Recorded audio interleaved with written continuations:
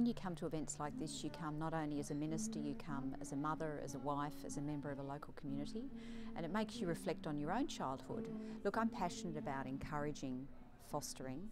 It is part of the kind of families we can provide for our young people in need. And so today we were looking to celebrate the fact that foster carers play a really important role in providing safe and secure homes for our children so they can dream. We do need more carers to provide respite, emergency care for those children who have special interests.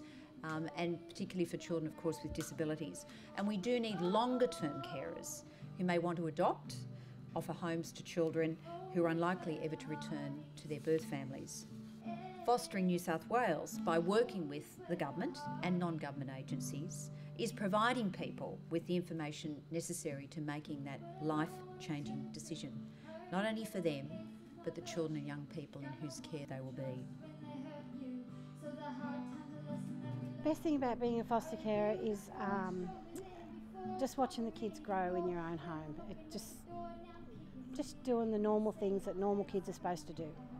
The best thing about being a foster carer is watching those children grow and build their confidence, self-esteem and independence just being there, being part of their soccer is a big reward, and also being part of, um, you know, the memories for them and the memories for us is, yeah, just great. I just really enjoy the role that I do. If you've got a spare room in your home, just take take a child in and see what it's like, and you you won't look back. Honestly, it's worth doing.